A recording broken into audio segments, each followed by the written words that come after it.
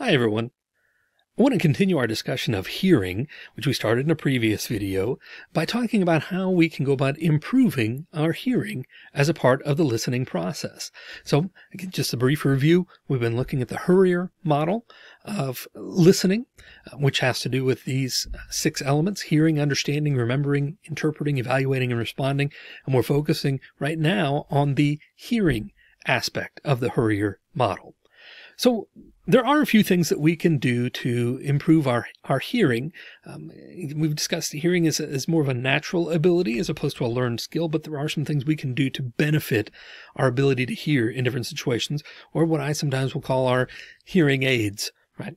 Uh, clever pun, I know, but uh, call these our hearing aids. The first thing that we can do is to be noise aware. As we talked about in the um, uh, when talking about the, the model of transactional model of communication, um, noise is anything that interferes with the sending or receiving of a message.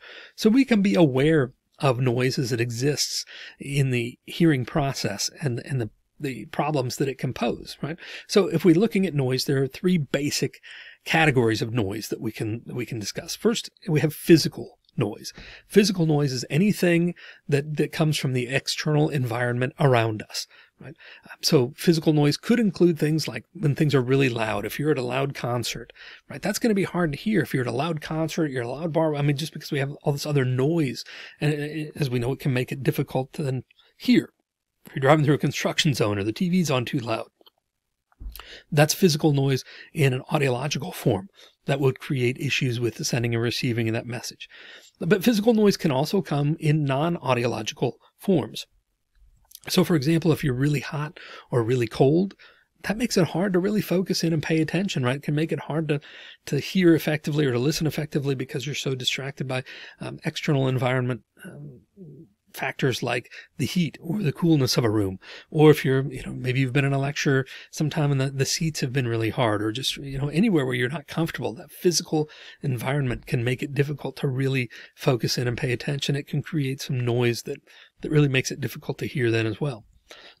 we also have physiological noise. Physiological noise has to do with anything from your body. Right? Physiological means the body. So uh, when your body creates these distractions or creates noise, uh, such as when you're hungry, or when you're sick and not feeling well, or when you're overly tired. Those are all uh, examples of physiological noise that can make it difficult to hear, right? It makes it difficult to really uh, tune in and, and really focus on those things. We can also have what we call psychological noise, uh, which is, as you might expect, noise and interference that comes from your own mind. So when we're daydreaming, when we have other thoughts going on, when we're distracted mentally, that's psychological noise and uh, and can also present an issue in hearing. We, our, our ears just don't function as well when we're when we're distracted with these things. So so we can be aware of noise and try and eliminate those kinds of distractions, audiological and otherwise we can be prepared mentally. And this is sort of a part of touching back on noise as well, but as being noise aware, but we can be prepared mentally. We can, we can remind ourselves, okay, I'm going to class or I'm going into this meeting or I'm going to talk to a friend where I know I'm going to need to listen. So I can prepare myself. Let's clear the clutter out of our minds. Let's focus in on what's happening here and improve our, our hearing ability and our ability to hear well by being prepared mentally in those situations. We can also be prepared physically if we know we have a big meeting, we're going to a conference, we're going to a class, we're going to whatever, we need to do what we can to be physically prepared for that. Uh, meaning we've eaten uh, properly. We've gotten enough rest um, that we are, you know, in physical shape enough to, to be able to, that our body is going to respond in the way that we need it to and be able to, to hear well in that way we need to know our mind. We need to know what distractions we're going to have from that psychological noise. We need to know where those things are, are going to creep in, and we need to be active in pushing them away so that our, ears and our hearing process remains focused on the, the listening that needs to happen in that moment. We also need to slow our mind in some ways, right? We need to, to just slow our mind down. Our, our brain operates at a faster rate than most people speak, usually at a rate of three to four times as fast as the other person is speaking. So we need to be conscientious about slowing our mind, allowing the hearing process to, uh, to, to really um, fully take effect and, and just again, pushing those other things away from our mind, but also just slowing our mind down a little bit so that we can remain on track and remain focused in those moments.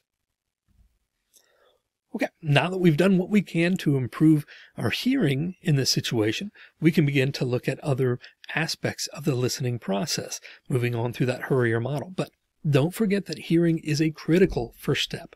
If you're not hearing, then you're not going to need the other steps because you're not going to get that far. If you're not hearing, then the listening process has effectively uh, been diminished. And so uh, we need to, to remain vigilant in our uh, focus on hearing effectively in order to listen effectively. If you have questions about uh, hearing or anything else related to the listening process, please feel free to email me. I'd be happy to chat with you via email and discuss this even further. In the meantime, I hope that you will uh, be conscientious and start to take active steps toward improving your hearing uh, in the uh, part of the process to improve your overall ability as a listener.